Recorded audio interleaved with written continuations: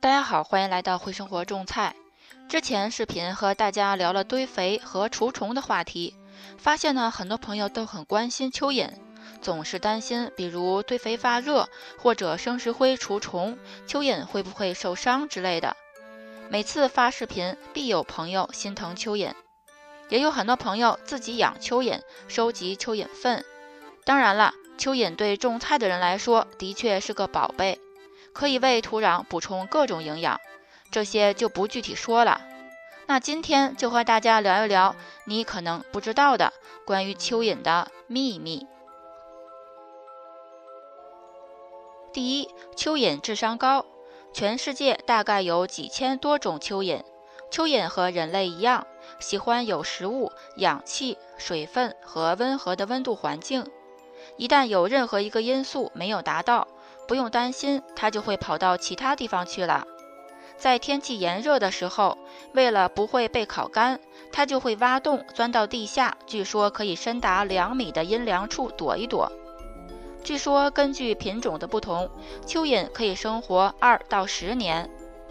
它们的繁殖速度也是惊人的，在合适的条件下，每两到三个月数量就可以翻一倍。如果外边下雪，冬天到了，人家就会钻到地下冬眠了，不吃不喝，就和熊一样，等春暖花开的时候再出来。蚯蚓茧是一个叫可控的东西，一个可控里面有很多个蛋，会孵出来不止一条的小蚯蚓。蚯蚓茧可以忍耐的温度范围和土壤的酸碱性都比较大，可以在恶劣的环境下勉强活下来。所以，即使蚯蚓遭遇了不测，那它的下一代蚯蚓茧也可以顺利的生存下去。蚯蚓最适宜的生长温度是十五到二十五摄氏度，低于零度或者超过三十五度都难以存活。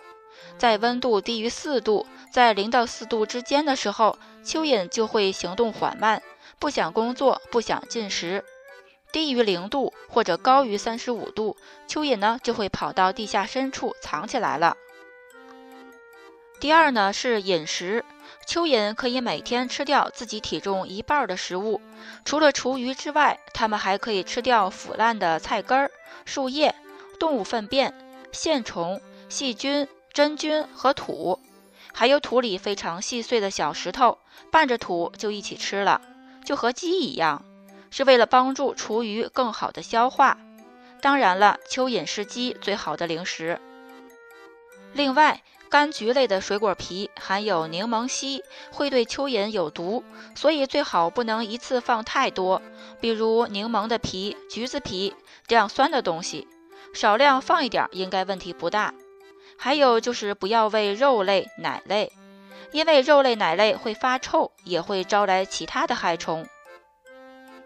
第三，蚯蚓的活动范围大概分成三类：有一类蚯蚓喜欢住在土壤的内部，有一类喜欢住在土里，但是会出来找吃的；还有一类呢，就是大家在家里养的那种红蚯蚓，是住在土壤表面的，喜欢土壤表面的有机质。所以家养的红蚯蚓不适合放生，这种蚯蚓是专门用来制作蚯蚓堆肥的。繁殖速度快，对环境的容忍度高，方便邮寄。所以红蚯蚓和我们地里发现的蚯蚓是不一样的品种。它不会像地里的野生蚯蚓那样会挖比较深的洞，所以对于疏松土壤的效果不佳。但是还是可以收集蚯蚓粪的。第四，入侵蚯蚓。据说19世纪欧洲人把蚯蚓带到了原本没有蚯蚓的北美北部。通过各种途径，比如钓鱼呀、粘鞋底儿、车轮子底下啦之类的，扩散到了更广阔的地区。但是人们发现，蚯蚓对于森林来说不一定是个好事儿。最近几十年，人们发现森林的面积减少了，可能和蚯蚓的入侵有一定的关系。如果说早先的蚯蚓入侵北美结果不那么差的话，但最近有一种入侵蚯蚓就特别引人关注了，那就是 jumping worm，会跳的蚯蚓。这种蚯蚓身上的环儿是白色的，非常的好辨认。之所以叫做入侵蚯蚓，因为它很少天敌，繁殖又超快。蚯蚓太多了，反而会造成土壤的多孔结构，含水量下降，养分流失，不利于植物的生长。